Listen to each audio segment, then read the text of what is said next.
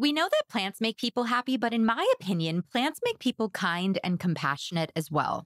Think about it. We spend our time, our free time, and expendable income caring for plants that can't communicate with us. At least a dog can bark at us when it's hungry. Knitting needles don't wilt, right? And yet, we show up to this hobby with curiosity and joy, and plants are a part of why and how we do that. I am so excited to have longtime plant friend Brittany Gowan on the pod to discuss why plants can be our greatest wellness tools. Welcome.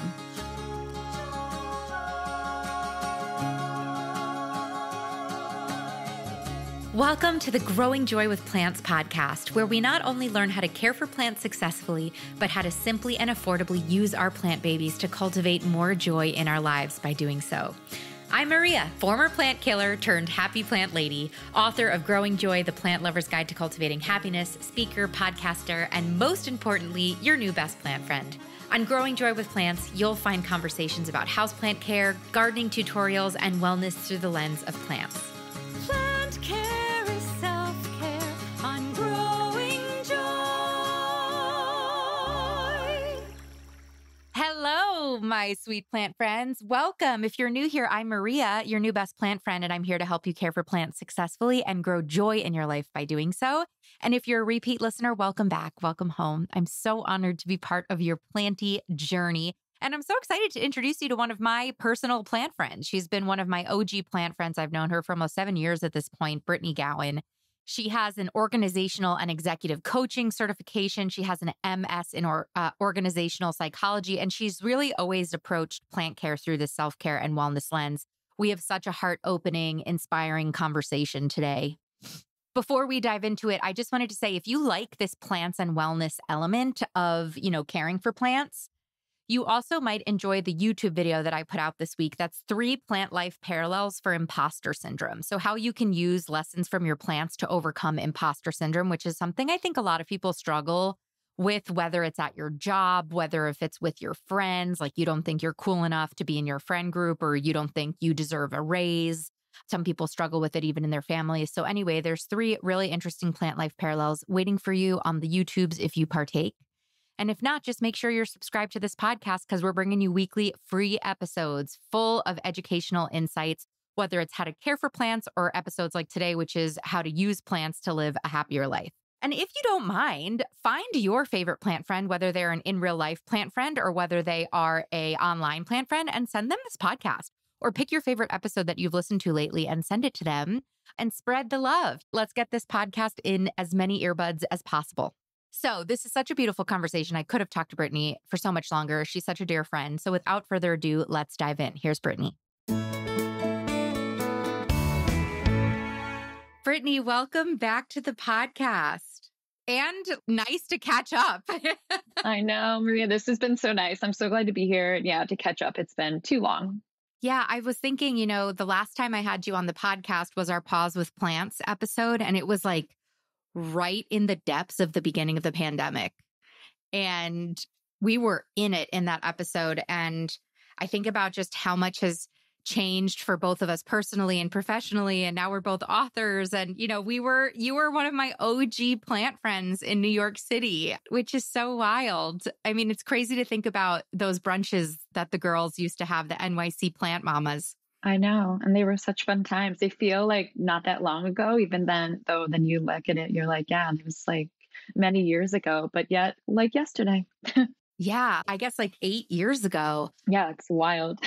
yeah. Like I, I know your planty journey, but for those listening who are getting introduced to you, you know, formerly I have this thing with urban jungles, now Brittany Gowan. But can you tell us kind of your journey to the mindful plant lady author that you have become? Yeah. I mean, I think that in general, it started when I moved to New York over 15 years ago, which is crazy to say. But in that first apartment, I just had a few little succulents, but I also loved going like out into the parks or going to the community gardens. And it kind of all evolved organically with growing up with a lot of nature and greenery around me coming into the city. I think I just innately wanted that connection. And it also helped me to release stress but yeah over the years like i had many plants in my apartment i had a few plants in my apartment and i think it just goes to show it's like stages of your life and how it works where you have more or less. And now i only have one huge monstera but i love her so much. So so yeah it's been a journey like everything else and and plants are a part of it. Yeah and you are a therapist kind of performance coach. So what do you do? And i know that you've kind of blended nature into your practice in many different ways but what is your you know day-to-day job where you're bringing this work to the people yeah, so I have a background in organizational psychology. I have a master's in that. I also went to NYU for executive coaching. So I've blended those and basically have created a program where it's both stress management, it's mindset and performance, and it allows people to mold best practices so they can achieve their personal and professional goals and also support their health. It also adds in a little bit of my sports background as well as a nature focus element that brings in calm and connection. And that's really based on my experiences in New York City and learning how to release the stress of city life with plants and the natural world. So it's been rewarding. It continually changes with the clients and individuals I work with, which I'm also thankful for. And it's fun, I would say. Yeah. So take me back to some of those experiences that kind of founded this mindful approach with plants for being in the city. You know, in your book, you write about how you used to work in the Chrysler building, which was pretty cool, pretty random fact I didn't know about you, and um, how hard that was and how nature ended up being this wellness tool for you. Can you kind of take us back?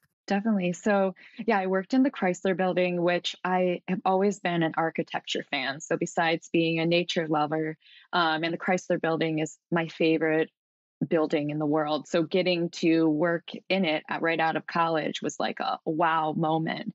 But, like I write in the book, like once you get off the elevator and you're out of the Art Deco lobby, it is just like rows of cubicles, tan walls. And I worked in a sales job that was pretty high stress. And I realized quite quickly that my lunch breaks, which were short, but they needed to be used to really restore my calm. And I started to go to Tudor City, which is right at the UN. So it's 42nd Street and First Avenue. And it wasn't that far from the Chrysler building, but it took a little bit to get there. And when I got there, there was only like a few other office workers that would be on the benches and, and, walking around. And I realized quickly that this was going to be my place for calm, but it wasn't something that I really thought I was doing for calm in the moment. It was just like, okay, like I need to get out, I need to see something, I need some kind of greenery. And it started to make a big impact on going back to work and the afternoons when I was able to go to that little park I felt more connected to myself, less stressed about what was going on. And those beginning moments really shaped how I connected with nature going forward. And definitely when I was in corporate jobs and in offices, I always found like a little piece of nature to go into when I could get a coffee or go to lunch. So it just became a way of life. And I think it also allowed me to stay here longer and also just get in the mindset that I can overcome any feelings that were serving me. Oh my gosh, I loved so many of the things that you said. And I'm curious, were you always connected to nature as a kid? I know you said that you grew up, you know, more rurally, but how did you even intuitively know that the park was going to be the place to restore and, you know, had because I feel like for a lot of people like per- personally, I didn't even know I was missing nature when I was disconnected from it. Like, was this an intuitive thing? Is this something that you've always been able to kind of lean on? I think it's definitely from my parents. I mean, growing up, they are plant and nature lovers and they had a million plants growing outside. And they also innately were interested in talking about nature. So, like, we'd be in the car or we'd be in the backyard, like, oh, isn't that like an interesting shade of pink on that leaf? And I think that through their interest with nature and their understanding that it is um, something to connect to for health and well-being for themselves that they they did pass that on to my brother and i and i think that we just grew up as a family like noticing aspects of the natural world and seeing its value in that way but and it just became like how we talked so i think like coming to new york though i didn't think anything about that it was like the city was you know the dream and like and but i quickly realized that that calmness of nature still needed to be part of my life. Yeah, I got lucky with my parents being like that, but I think innately that they came to that as well. I feel like that's great parenting advice. You know, start them young and get your kids engaging with nature early on so that you can give them that opportunity for intuition. What are the different ways you engage with nature for people listening to the show that are living in an urban environment that's overcrowded or they're in the cubicle, you know, they don't have natural light, they don't have a view out of a window. What are some practices and suggestions that you would give to the urban city dweller like you and I used to be um, to kind of have those restorative moments? Yeah, I think that you have to get creative in the sense of like the little the little pockets of nature really become your respite. So if you go outside and like planters outside of big skyscrapers or if you're in an area where some you can see some window boxes, there are a lot more li- like little pockets of nature than there there used to be and and buildings I think do a nice job of having things outside, but you have to take time to actually observe and be present to it. So I think that those little things can be bigger things. I know that's been key for me. I also think that, say, you're in a building or you're working from home and you can't get outside, remembering a setting in nature that you love is something that I think is a great way to connect with the natural world. It's something I've done forever, and it's it's a practice that I use with most of my clients of visualizing yourself in nature. All the meditations that are in the book are based on that imaginative quality, and I think that when you do that, you can retrieve the calm of nature. So look for the little things, and also use your mind. I think we always have access to those those things. I love this. This takes me back to like back in the day, Brittany, when you had a podcast called Pause with yeah. Plants. Do you do you still have that podcast? Do you still do that? I still have it. Someday I'll bring it back. But that whole idea of these short little brief things with nature, like I made it for city people when they're riding the subway to listen to a two minute meditation and be like, okay, common nature and the and the craziness of all of this. So that has stayed with me, just has taken different forms. Yeah, I mean, people listening should go. I used to listen to your show all the time. It's called Pause Thanks. with Plants, and it's these tiny little meditations that are. It was reminding me so much when I was reading your book because you have all these written out meditations throughout your book, like poetry. But I was like, oh my God, this is the next iteration of Brittany's Pause with Plants podcast. Because I remember I'd be on the seven train listening to your, you know, you'd be taking us to like a tropical jungle. And I was like, take me, Brittany, take me away. yeah, no, I'm, I appreciate that. I appreciate you remembering that. It's, it was one of my favorite things to do. And, and that is the inspiration for the things I wrote out. Yeah. Oh, I love it. And also another thing that you two other things that you mentioned I want to bring attention to. Number one, I can't speak for every city, but I can definitely speak for New York City and I'm going to I'm going to guess most other large cities.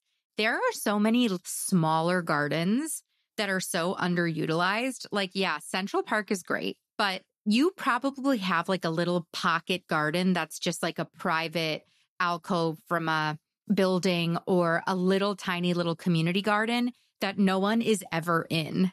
And once you can locate those gardens and ideally get access to them, some you can walk right into. Sometimes you have to like apply and, you know, get a membership or whatever. I mean, I feel like these cities have so many more green spaces than we think that they offer us. But then you do have to notice, and you had a really interesting part of your book that was talking about noticing the small things. And if you're looking at a naturescape, how many little things can you see? And I was just at the Amazon Spheres last week. They have this like epic green wall that I think has 1200 plants on it. And I was having such a fun, you know, five minutes just going over the same, you know, couple of square feet, but trying to see how many different plants I could see. Because every time you went back to it, you'd see a different plant or you'd see a different bloom or you'd see a different aerial root popping out. So I don't think that's intuitive because a lot of us are running from schedules appointments to appointments to phone calls to texts to checking the Instagram to doing the thing. Like, I think it's not intuitive for us to stop and notice the little things anymore. So can you kind of can you talk about that that particular practice in your book? Yeah. It is my favorite and it's something that I started doing in the city and it's something that I've worked with clients on for many years of just noticing, obviously, the, the little things. And if we're using nature as the tool for that, noticing the different shades of green on a specific leaf, and maybe it's the tiniest leaf, like really getting into the details. And this is a great practice of mindfulness, active presence, and also training your mind to be focused. And I think that comes back to my sports book background of really having like linear focus on things and paying attention to specific aspects, I would say. And I think when you do that, I know from my own experience that whatever else is in your mind, whether it be good or something not as great, it goes to the side. And your brain is a wonderful thing, but it only can focus on one thing at once. So if you're like, okay, well, there are kinds of shades of orange around this plant, like your mind can't be elsewhere. So it's one of my favorite practices of mindfulness and present moment awareness. And I think it's also has a childlike wonder to it, an activity that I think everyone can get on board with because it's entertaining if you embrace and allow it to be. Plant friend, the magical feeling of hearing the deep resonance of a Wind River chime in your garden is honestly incomparable to anything else I've heard. And I know that sounds insane, but they're seriously the prettiest sounding chimes I've ever heard. And you hear them singing in the wind throughout the day. And it's like this constant reminder to drop into the present moment. Billy and I have two Wind River chimes. I have one outside of my office. Billy, we have one outside of our kitchen. Throughout the day, the wind blows. The chime represents that wind. And when I hear the chime, it's this reminder to like take a deep breath and drop into myself. It's so Beautiful. Plant friend, if you're looking for a new way to grow joy or mindful moments in your life, I can't recommend a Wind River chime enough for you, for your home or your garden or both. I love these chimes so much, I've gone on a little bit of a gifting rampage with them. I gifted my mother in law a set of wind chimes for Christmas. She loves wind chimes. They went over so well. And I also engraved the wind chime with her name on it. So it was personalized, which was a really nice touch. And I love that whenever the chime rings, she's going to be able to think of me. It's such a beautiful and joyful gift. So join me in my gifting rampage and gift a Wind River chime to your loved one, whether it's for a birthday, an anniversary, a holiday, even maybe as remembering a lost loved one. And you should use code GROWINGJOY at windriverchimes.com to get a free engraving to add a special element to your gift. They come in a variety of colors, sizes, and sounds, so head to their website, windriverchimes.com, and don't forget to use code GROWINGJOY to receive a free engraving on all Corinthian Bells wind chimes. If you're looking for fun planty projects to do to lift your spirits or maybe even do with kids, I highly recommend the book Verdura Living a Garden Life by Puerto Rican author and gardening celebrity Perla Sofia Curbelo Santiago. And she was a guest on the podcast a while back as well. Verdura celebrates the power of adding more green to your life with 30 simple and budget friendly gardening projects that promote well being through plants. Verdura means greenery in Spanish, but also refers to any edible plant from the garden. Throughout this book, verdura is used as both a description and an aspiration. It's all about adding more verdura to your daily life. The 30 projects in this book will transform the initial spark of joy plants create into a healthy habit that enhances your life in so many ways. Get excited to learn how to create a container planting that appeals to the 13 year old version of yourself, make a meditation garden or a private healing nook, plant a barefoot garden, or even learn to compile a garden-tainment kit.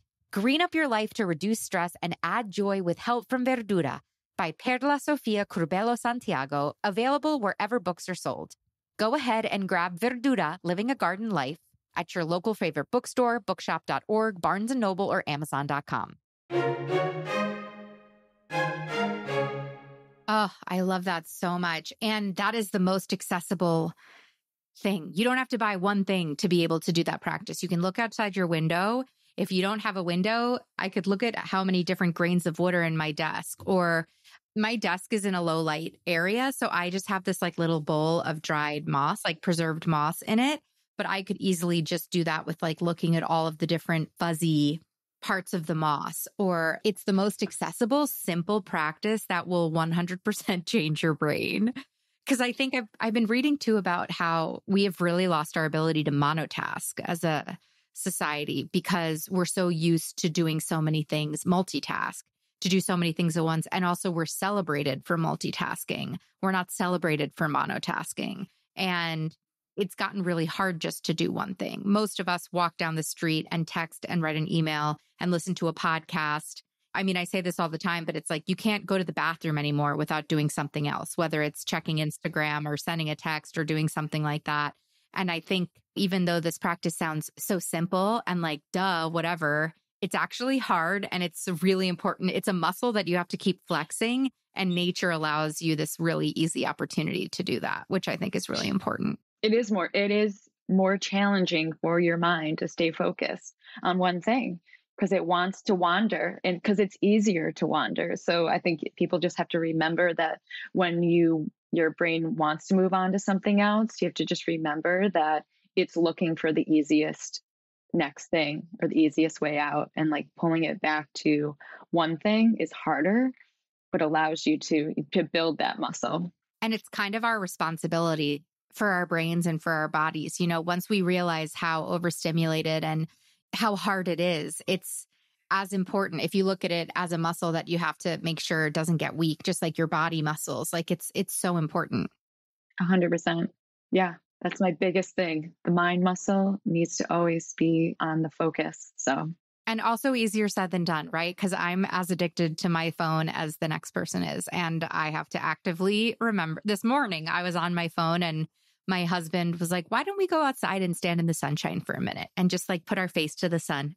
Turn to the sun. That's the title of your book. But he was like, why don't we just go stand outside for a minute instead of drinking our coffee on our phones? And I was like, you know what? That's a great idea. Even though I hate you for suggesting this because I was enjoying my TikTok scroll. But I think that's super important. It is. It's the little things, it's the little changes, just like the little changes of, of seeing nature in different ways. Yes, totally. Now, your book is filled with such amazing plant life parallels and references, which is my favorite thing to talk about. One in particular that I think you would be so fun to jam on this concept with, but how many metaphors can we come up with for light? You have a whole chapter on light in your book, but if plants and nature have so much to teach us, what are different ways that we can approach this concept of light and light interacting with nature and darkness when exploring our own mindfulness? Yeah, I love light in general. I have a background in photography and I always look for light. This is an endless road, but in general, I think that when we're thinking about light, we can notice nature in the places where where plants interact with light. Where also plants need some darkness. You know, not all plants are full sun. Some plants need shade. And I think that also in our own lives too, sometimes we need to be in full sun and other times we need to be in shade either to recover or to process things and i think that that's one aspect of light of how we can relate it to nature and our own lives and also i think that like I named the book like Turn to the Sun because it's also like turn to what is good and hopeful. And light isn't necessarily the physical, it can be people, it can be plants, it can be pets, something that is good and hopeful in your own life and turning towards that as well as the light within you that is either shining bright in the moment or is waiting to shine. And I think that all these examples of seeing shade and bright sun, we can always bring ourselves into like, where am I in this moment? Do I feel like I'm in the sun? Am I kind of in the shade? Like, what stage am I in? Am I okay with it? Do I need to wait? Do I need to push myself forward? And turning to plants to see how they turn to the sun and how you need to too. So, in a nutshell, that's my thoughts around that. But as I'm sure you have your own views, and they're they're endless. Uh, I love you, Brittany. I love how your mind works. And I feel like what I've just been thinking a lot about lately is the importance of the darkness and also how you know, there are some plants that only bloom at night in the darkness, right? Sometimes, in order to get the bloom, you need to experience darkness and how important rest is. If you look at darkness as rest, you know, and light as productivity, I mean, there's so many different metaphors. But that's also why I'm like, gosh, whatever life thing you're going through right now, whether it's positive or negative, there is a plant life parallel. Like, I dare someone to find me a life circumstance that I cannot bring back to nature. And I think what you said is such a great example of that because when we look at this plant relationship with light, it can be turning towards the sun, turning towards positivity. It could be assessing how much light positivity lives within you. It could be what's, you know, kind of season of light are you in, for lack of a better word, but are you in a bright space? Are you in a dark space? And also like learning to not stigmatize the darkness. Because I think some people feel like they have to be bright and sunny. I'm someone who struggles with this. You got to be bright and sunny all the time. But that's just like no one burns like that. No one burns that brightly 24 7. And I think there's just so much to noodle on in there just even thinking like now, I mean, it's a beautiful sunny day in New York City, like no clouds. And that gives you so much energy. But some days, I mean, when it's cloudy here, it's like, all right, like it also gives you a moment to be like, okay, I don't have to be out doing a million things because there's always FOMO here. You know, it's the land of FOMO. And it's like, oh, like a rainy day is actually a great time to be like, okay, I'm going to allow myself to rest today. I don't need to be out doing a million things. So it's like leaning into those moments and you can have those kind of references as your guide. Yeah. You know, another like deep planty thought I've been thinking about, I want to bounce off of you mm-hmm. is there's always present of light and dark. Cause I've been thinking a lot about perspective lately. Any shitty thing that happens to you, you can choose to look at it through a positive lens or a, a dark lens. And even like when it's light here on the other side of the world, it's dark and vice versa. Like there's light somewhere at all times. When it's winter here, it's summer in Australia. Like there's always light available, even if it's not the easiest for you to grasp. And how do you allow yourself to like turn towards it? Once again, yeah. I'm just going to say the title of your book 100 times in this conversation, which I, I'm not doing intentionally, but you picked a great title. You know, this concept of like, in every situation, you know, or if you think about every situation as neutral and then, you know, you can take a perspective of it, there's that opportunity to find the, the light or the darkness depending on what you need. Kind of like what you just illustrated with the weather outside. It's very interesting. I don't know. What do you think? Is there something there? no, I love it. It makes total sense to me. And I always think about how, yeah, it's like it's like winter in the northern hemisphere. And in Brazil, they're partying on the beach in the summer. And it's like whatever you're currently dealing with, there is another reality. So if, if it's, let's even we've just to talk about seasons like if winter is a season where you don't feel as great maybe you have you know feelings that just take you down. By even reminding yourself you know half of the world is in summer it's all that psychological switch from saying well i'm like in brazil today or i'm in australia like that the whole mindset of knowing that there's you know that light somewhere else or that warmth somewhere else and that can go into our daily lives and and little things that happen or bigger things that happen but yeah your the whole perspective aspect i am a, a fan and i believe in it I love it. It's like instead of the withering calathea on my bookshelf in the middle of winter in New York, I'm going to go be a monstera in Brazil, soaking up the sun and the party. Yeah, I'm going with you because that sounds uh, amazing. way more fun than all the snow that I'm under up here in upstate New York. Yeah. Another interesting chapter of your book, and you know, you drew a lot of interesting connections between plants and compassion. Can you speak to how we can use plants as this tool to kind of practice that muscle of compassion as well? Yeah, I definitely think that compassion can be a tough one and it's it's not something that maybe it can come innately in certain situations, but when we connect to plants and nature, maybe we care for plants in our house, it allows us to see a different way of taking care of something. You know, maybe we have a plant that needs less water and if we're watering it too much and it's having some issues and it's like okay this this plant needs a little less love and maybe seeing that certain situations need similar parallels too and i think that that having compassion for plants in our living world allows you to also have more compassion to our, for yourself. And I think that the path normally is if you have compassion for yourself, you're also able to give it to others. If you're able to give yourself grace, you're able to give it also to others. And I think that practicing this path with plants is a way to that place. So that's why I wanted to include the compassion aspect. And in the book, I write about this garden center where I grew up. There was like a little search and rescue table for plants and like and taking one home like they're the ones that haven't been doing that well but it shows you that you can, they can recoup and i think that it is a, a act of kindness in that way as well that we can that we get from from taking care of plants. So big or small i think it's a great way to start and and also branch out your compassion to yourself and others. If you are looking to give your houseplants a little love this spring you have to try soltech stylish grow lights. These lights are not just practical, but they're a sleek addition to any room, marrying a full spectrum white light functionality that mimics the sun with a modern aesthetic. Soltech grow lights are designed to fit effortlessly into your living space, providing that essential light your plants need while enhancing your home's vibe. I have four Soltech grow lights in my tiny little office right now. I have their pendant style aspect hanging light in my closet. So I turned my closet into a grow room basically, and I hung their light in my closet. The light bounces off the white walls of the closet, and I have 12 or 13 plants in my closet with that Soltech grow light.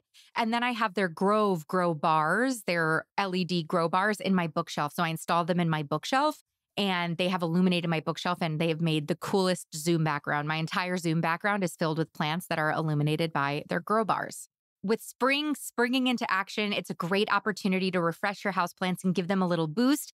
And to make it even more appealing, we have a special offer for you. The code BLOOM15, BLOOM15 gets you 15% off any of the lights at soltech.com. And these lights are an investment, so 15% will get you a long way. So that's Bloom15 at soltech.com. You'll also enjoy free shipping within the US and a reliable multi year warranty. Each plant under a Soltech light not only thrives, but contributes to the natural calming environment, something we discuss in today's episode. So treat yourself to a Soltech light at soltech.com and use code BLOOM15 at checkout. Yeah. Compassion, empathy. Like, I feel like, especially in these times where our country, our world is divided on so many different issues. And it feels like it's getting harder and harder to understand that the people on the other side are human. Like, people just are filled with so much anger. I think we need those skills more than anything in, in order to heal so many problems in the world. And um, I love that idea of every garden center has that little, you know, shelf that's all the discounted plants. And a lot of people gravitate towards them because they're cheap. They're like a dollar or, you know, a couple dollars. But that thought of, no, I'm going to take you home and I'm going to nurse you back to health and I'm going to help and, you know, and I'm going to care for you. And, you know, I understand you're not, you're not the best version of yourself right now, but we're going to get you there. I love that energy that you can bring towards plants. It's so beautiful. Yeah, I agree. And like that's that whole story was w- what made me want to write that specific, you know, chapter with um, compassion. And I think that, you know, people can take that example and use it in many ways, as you said, like connecting this with plants and nature. There's so many like life lessons that then you can relate to to our daily lives. Yeah, totally.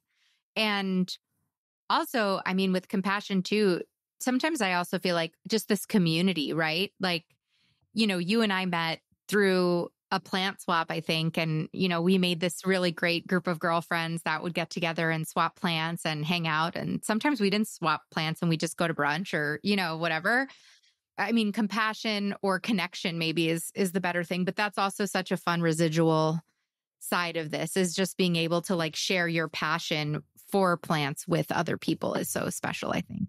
And also, that's the perfect segue to your chapter on joy. Obviously, when I saw your chapter on joy, I was like, oh, yeah, let's talk about it.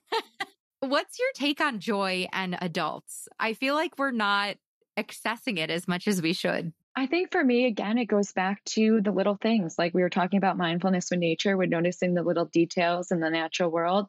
I think joy for, let's just say adults, happens in the little unexpected moments. And it's not normally the big moments that we think it's going to be. Maybe those more moments are more awe filled, maybe. But like, I think that joy comes from many of like the little tiny things that go on in our lives, the little interactions, and maybe the little interactions with nature. But it's the unexpected. And I think it's the things normally that we go back and realize sometimes, oh, that was joyful and it's not necessarily in the present moment that we know that we're experiencing joy but we look back on and we realize that that that was a moment to experience joy and i can say for myself like some of the community gardens in the east village alphabet city like they are a place where I always experience joy. And it's not saying, you know, there's not award winning roses or other things. It's super quirky, the random plants, but it is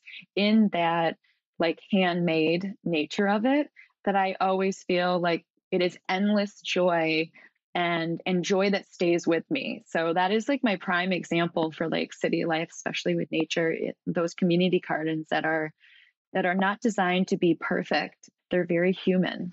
And you meet the most interesting people in those community gardens. Oh my goodness. They are a cast. They are a cast of characters, some of my favorites. I can say though too, like with joy, I mean, how when I was growing up, I wrote about how joy was my grandma's favorite word and concept. And I learned from her that it is those little moments. It's the hard times that you get through, and then you experience joy in things that can even be mundane. And I have a pin that says joy that was hers. It was a Christmas pin. And it's it's like my prized possession. You know, it's those little things that are don't have monetary value, but they're sentimental.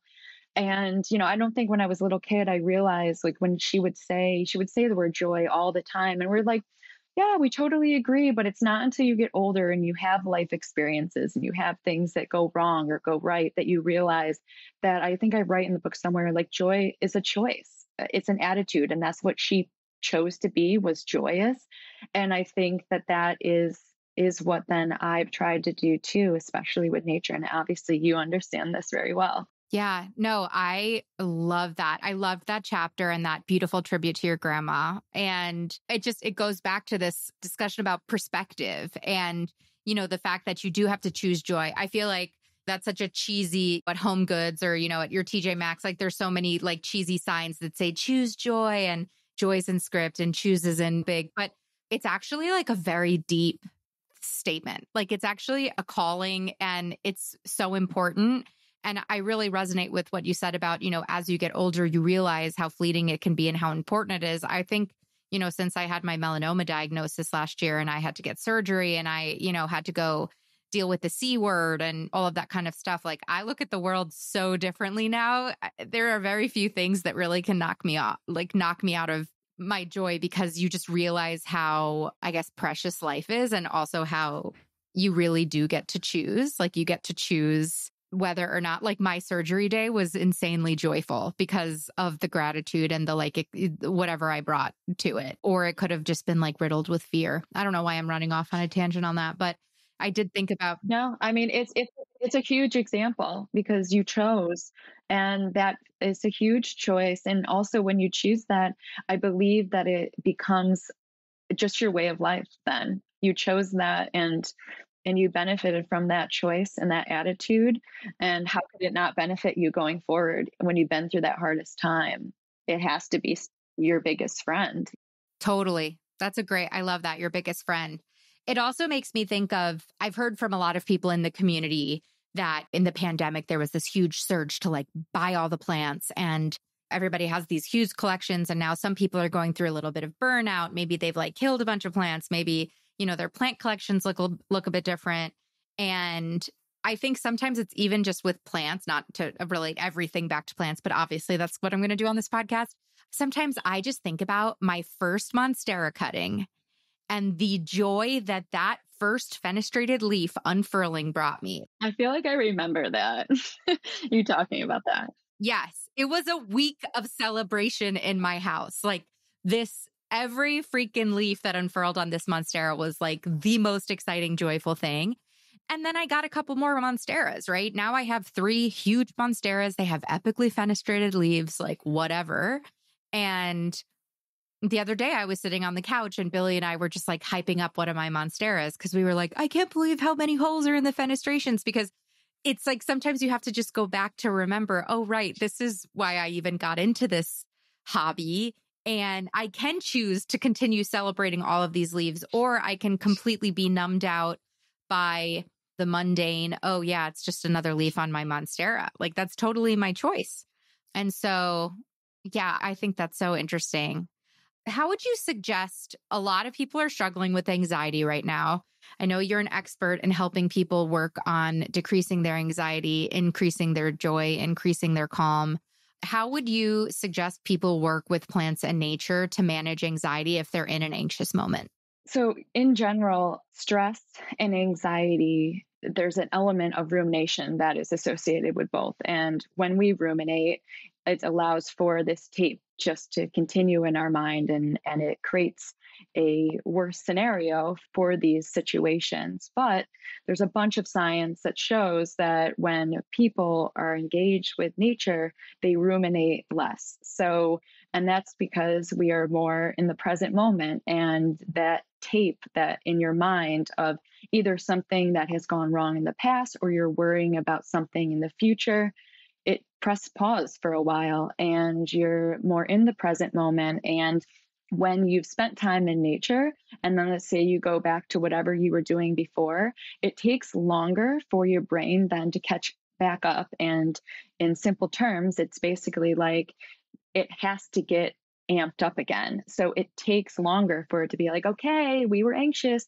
we were not happy. So creating that pause allows for a longer period where you can sustain this calm. So it becomes more of how, like a controlled habit, as opposed to immediately coming back to that point where you're maybe feeling anxious or you're stressing about something. So that is kind of that concept of pause with plants when I originally started, of that intentional pause in order to allow your brain to come back to the present moment. And I think that when you're taking care of plants, or say you're out in a botanical garden or out in a community garden or a park, having those moments where you're engaging with nature, maybe again, you're looking at the details, you're just giving your brain a break and saying, you're going to take a little nap for a moment. We're going to embrace the present moment. And it's a great way to kind of lessen those feelings. And of course, they can come back. And this is a continual practice of noticing your feelings and kind of saying, oh, I'm feeling that certain way again. I know how this can go, and saying, I'm going to take a moment. And maybe it's even in your mind. You're going to say, I'm going to take myself back to a natural scene that I like. This is a lot of times what I do with my clients. And we go back to maybe some place they like in nature and allowing that that pause so it's getting to know yourself, which we all know ourselves, but getting to know ourselves even better than before and saying we need that break and coming back to nature. Yeah. And I love this visualization you keep talking about because sometimes when we're in an anxious moment, we can't go to the local park. Like we're in the bathroom at work having a panic attack, or we're feeling that anxious moment on the subway, you know, like where we don't have this access. So I love that you preach that you can kind of transport yourself there whenever you need. And sometimes it's even more restorative because you get to choose what's your favorite natural setting because it might be the beach, it might be, you know, it might be wherever it is. Yeah. And that might be far away, but it's not far away in your imagination. And even having those intentional practices will reduce adrenaline, cortisol. So you're getting the same benefits because at the same time, your brain can't determine what is real and what is imagined, which is what makes our mind so powerful. And just, I mean, when I was an athlete and just like any other athlete now, like visualizing your performance or for you for performance and imagining you doing well and performing the way you want to, having your mind be trained for that success or for that calm. It goes back to that training that muscle. Yeah, totally. Well, I would love to ask for us to do a little meditation to wrap this up, but I have one more question before we do that. I loved your, you know, this concept of returning to the wild. You know, especially as adults, we've got to be all like prim and proper and buttoned up and we're living in these urban environments and they're not wild, but this concept of letting yourself return to your wild. Can you speak to that a little bit in case anybody might want to explore this concept? Yeah, I think it it's it has a couple branches and and one is i think for you personally like allowing yourself to be like okay like i'm a part of this broader ecosystem. I'm a part of the natural world. And let's say you live in a city even going to a larger park and noticing the squirrels and animals that are there and engaging in different settings that aren't just our man made world. And then if we go into like broader landscapes, like taking yourself on a weekend, either with a significant other, friends, and like going to some place like pretty dramatic, very much like, wow, this is the natural world of, of what would be here if our human world didn't exist. So there's that aspects too of you know perspective as we talked about before like what it looked like before and what we can still engage with and then the other side of it too is like we were talking about intentional thought in in your imagination. So I live nowhere close to the rainforest, but I love the rainforest in Latin America and when I am not there, which is most often, I like to remember how it is to be there. Remember being on the trails, noticing the plants, noticing the wildlife, and having that continual connection with these places that are important to us and that are truly wild compared to what our, our normal setting is. So I think it can be a variety of ways, but I think the concept of returning to the wild is also returning to not necessarily your wild side, not out of control, but your innate like vigor and your like some kind of animalistic attitude of just energy. So that chapter takes many turns, but I think in general it is engaging with with your wilder self, the wilder world at the same time. I love it. Before we dive into this meditation as a wrap up, please share the name of your book, where people can buy it, and where people can find you in case they might want to coach with you. Yeah, absolutely. So the book is Turn to the Sun, and you can find it on my website, brittanygowan.com, or anywhere books are sold. And also on my website, you can check out my coaching for one on one or corporate. And also, I'm on Instagram at Brittany Gowan. So I'd love to chat with anyone, and that's where you can find me. Amazing. And talking about like noticing the little things, I love your stories because you often just have like one story tile or two story tiles of just a really interesting shot of nature in an urban setting. And I just, as a follower, enjoy looking at them. Thank you. I enjoy taking them. It's a nice like meditative practice of again noticing like, oh, that's something different. So it's it's kind of always the challenge of like what's next even in a very familiar setting. Totally. Well, I would love to wrap up. You know, your book has all of these beautiful meditations. Every chapter has multiple meditations that people can read through, but they're really like poetry. They're very beautiful. I would love for you to kind of lead us out with a Brittany Gowan exclusive meditation for people to take a pause with plants. Awesome. It's my pleasure. So I picked one within the Return to the Wild uh, section, and it's called Awaiting Wildness. So imagine yourself standing at the foot of a nature trail. The path quickly turns to the right. You know little of what wilderness awaits you. Breathe in and out. Feel humbled by the opportunity to return to nature's home and eager to interact with the living world. Take a few steps on the trail. Greenery crowds in on both sides. Palm trees are abundant.